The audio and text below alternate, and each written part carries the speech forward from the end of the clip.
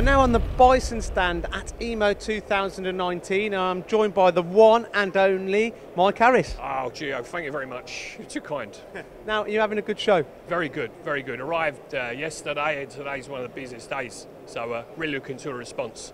Now, you've got a small chuck here, a metre chuck. Is this, is, is this the biggest you do? This is no, no, no. This is one metre. We do up to three metres. This is more for your hobbyists and things like that to be using on their Myfords in their garden sheds. You know, your model railway workers. So, four jaw, independent chuck. You do lots of, you do box jaws for it as well. Box jaws for those T slots as well. Anyway, up to about three metres, easy. Brilliant. Now, this is not the only product you've got on your stand. What other products you got, Mike? You've just seen the one metre version. That's the standard sort of like 125 to 200 sizes of independent chuck.